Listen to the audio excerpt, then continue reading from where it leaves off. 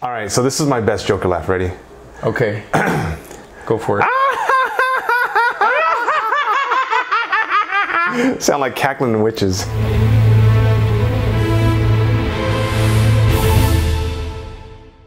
Joker is directed by Todd Phillips and it stars Joaquin Phoenix, Frances Conroy, and Robert De Niro. And of course, based on the trailers, you know that this is going to be a deeply disturbing character study, background movie on the Joker, and that is pretty much what you get here. There's been a lot of controversy surrounding this film, all sorts of groups online complaining about how violent it is, how it promotes violence, mm-hmm. how the movie says that if you have mental illness, you're going to resort to violence. It really worked for the movie. This is a character did. study movie. It's a psychological deep dive, and so you have to you have to kind of get into the gutters a little bit as to why he is why he is. Exactly. It really delves into his background. And one thing that I really appreciated about the film is that it really does a good job of making you feel sorry for him because they mm-hmm. really portray him as a victim, as a victim of abuse, as a victim of not fitting in in society, being a misfit, him just not finding his niche in the world, right? Right. And then at the same time, it does a good job of making you feel just completely creeped out and horrified by the monster that he is and that he mm-hmm. is becoming. This is a cautionary tale for bullies. Be careful who you mess with, right? Absolutely, Yeah, yeah. because you have no idea what kind of monster inside you're going to unlock. And like you said earlier, this is a character who is highly misunderstood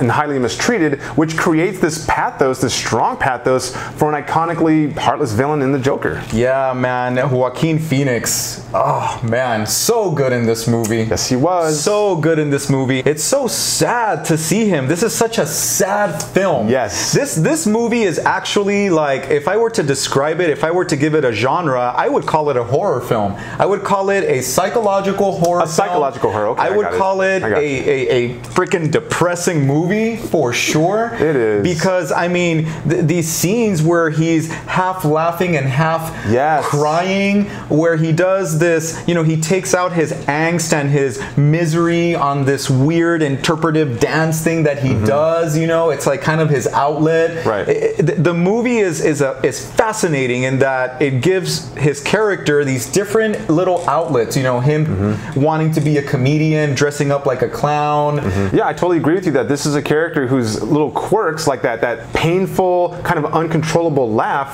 uh, gets him into these binds, and that's just one of his many problems, right? That's an internal struggle that he has, but he also deals with a lot of societal struggles, a lot of external things, a lot of things that are beyond his control that just kind of just crumble him down. And what I specifically liked about that technique is that it was very plausible for me. It was a series of unfortunate events and it, it made sense and you would think you're thinking through this wow this could really happen to somebody That's a really good point. One thing that I'm still trying to digest about this movie is how many connections it actually has to Taxi Driver. oh That- okay so that's That's why, that's why you put here. it there okay Yeah, i was like that doesn't fit I mean, if you've seen Martin Scorsese's uh, Taxi Driver, yeah now that you bring it up you will obviously see scenes that are so inspired by Taxi Driver. The same uh, type of, of story about a man who is mentally unstable, you know, and it's just unraveling and heading towards just that snapping point, you know. Mm-hmm. Um, and Robert De Niro is in this movie. I don't think that's a coincidence, you know. Right. There's a reason for it. I kind of just wish that the movie didn't rely so much on those connections because I kept seeing scenes that reminded me of Taxi Driver, and I just I, I felt like it, it, it may have relied a little too much on that. but how much did it mar the movie for you overall Obviously, this movie is a completely different uh, dynamic and, and, and di- different situation, different Mm-hmm. setting. I mean, but just the composition of the scenes. Uh, w- I was do you mean reminded the a lot. mise en scène The mise en scène. That's exactly right. That's exactly what I mean. So you're probably wondering what we think of Joaquin Phoenix since this movie's all about him and the Joker, right? Well, he should be nominated for an Oscar. Hands down. I He mean, better be. My goodness. yeah. This is t- talk about an entire body performance. Yes. you know. he, it's- he he had to have method acted this for a long period of time. I mean, he lost so much weight for this role. He like 50 something pounds, right? Yeah, crazy, and just just the way that he morphs into Mm-hmm. this character and moves his entire body, and you appreciate how much effort he put into that performance. Right, and it's not your standard kind of diabolical Joker, right? Because you have to get, you have to tell tell the audience how he gets from Arthur to the Joker. So conflicted. Yes, and he's so very much like you had mentioned earlier. Yep. Like in the movie theater, like like a child and just just a Yes. messed up individual. Yep. Definitely, yeah. I think there's definitely like some childlike qualities to his performance, Yeah. which I think is interesting. And, right? and then that of a clown too, because when you see him running, it's very exaggerated, it's very clown-like. Right. You know? So he encapsulated like everything. like venturing on pantomime a little bit. Yeah, yeah. very interesting. Yeah, and his mother, played by Frances uh, Conroy, I thought did a good job. You know, Uh-huh. Okay. she's I thought she was a great choice for this role because typically she plays you know uh, kind of like creepy roles, like in Mm-hmm. American Horror Story, she plays a witch, for example. So I thought that that was a good uh, choice. And as much of a character in this movie as obviously Joaquin Phoenix is the visual storytelling, Oh, the cinematography, just the techniques overall Yes. really worked. I thought they really bolstered the narrative. Yes, the film is gorgeously shot, great color palette, great camera work, very camera angles, Dramatic, great lovely- rack lovely focus. I mean, if you are into techniques, you have a, you'll have a field day here. And I especially liked that morose tone that they created with the music. The score I thought was very relevant, very meaningful to the narrative. And uh, they had a couple songs in there that kind of broke the tone a little, but like you had Yeah, mentioned no, they're, to they're me earlier. Mm-hmm. They're kind of like satirical almost, you know, because they kind of go against what the scene is kind of evoking, you know. Yeah, and you were saying that it's very whimsical. It goes with the character very That's much. right. Yeah, Yes. Mm-hmm. and the score is great, like you said. Kind of like out of a horror film sometimes as well, suspenseful. So all of that well crafted. Yeah, and lastly, I do want to mention you were you had uh, alluded to the uh, set designs earlier. Yes. And I thought they were very immersive. As I was going through the movie, I felt like I was there in a city that wasn't well kept, that was kind of Seedy. exactly Almost claustrophobic at times, especially in his Yeah. apartment. Yeah, you know, in the in the train. yeah, very run down. Uh, the people there, you, could, you could really see the dirty. Mm-hmm. division.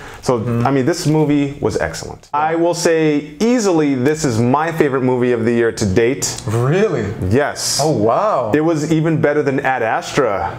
Oh wow. Tongue placed firmly in cheek. I, I am I'm, I'm I'm speechless. I don't know what to say. No, no, no. This, this, I, I thoroughly enjoyed this movie. I didn't Okay. feel that it was too slow. I never felt like it dragged. Okay. Uh, the characterization was engaging. I, I loved this movie. I was thinking through this movie like, wow, you know, I, this is a, a different type of movie for me. I, don't- I don't normally watch, and I loved it. So for that, you might not think I'm gonna say this because I've only said it once, but I'm gonna give this movie five reels. Are you serious? Five reels on this movie. I cannot believe it. I am just like, what? This is. Are we in the Matrix right now? Like, wow, dude. no, I, I really appreciated that movie, and, and Well, uh, that's interesting because I definitely am not going to give this movie five reels, and I'll tell you why. And I'll tell you why. I'm sorry. There are things in this movie that I have seen before, and, and Taxi and- Driver. yeah, there are things in this movie that I have seen before. So for me, at times, it felt slightly formulaic. like derivative. Yes, and and I did feel that the pacing at times, not not a, not a whole lot, but the pacing at times did feel like a little bit like, okay, let's let's let, let's get going a Wow, that bit. is so weird because I- I'm the one that always talks about the And- pacing and- sucking. I know, and and in Ad Astra, like I wasn't I love that was a slow burn. yeah, no, but this is I I wouldn't say this is my favorite film of the year. I think it's one of the best films I've seen this Okay. year. I'm gonna give this movie four reels. Four reels? Four reels. I am And- aghast. And the reason, Four reels. and the reason I am gonna give this movie four reels is because of Joaquin Phoenix. Man, Cesar Romero is rolling in his grave that you only gave this four reels, and all these other iconic Sorry. Jokers I'm sorry. Are grossly disappointed in me, man. I'm sorry. So, that's our real take on Joker, guys. Hope you enjoy that. And I do want to let you know that we do have another giveaway for you guys. This is a watercolor print. This is painted by local artist Joey Lee Cabral. That's right. Check him out on social media. This is a beautiful painting here. And guys, if you comment down below, we'll pick one of you random commenters and get this to you. That's right, and don't forget to look us up on social media. We're on Facebook at Reel Screeners and Instagram Reel.Screeners. And as always, thank you to the Alamo Drafthouse for providing a great environment as always. And don't forget to tune in next time when we do our audience reactions to Joker and for some more real takes on movies. Oh my lord. Yes, Chris Carson. Yes, Chris Carson. Sorry. Okay. Okay. All right, ready? Yes. Uh, until his uh, fuse Just- burns out. Yeah. kind of like yours did right now. and I'm particularly. Okay, I'm not it. I'm not gonna do it. and while we're along, And while we order along, you know, um, Cesar Romero, uh, Mark Hamill, all these other, all these other Jack, Ja- uh, Jack, Jedi's.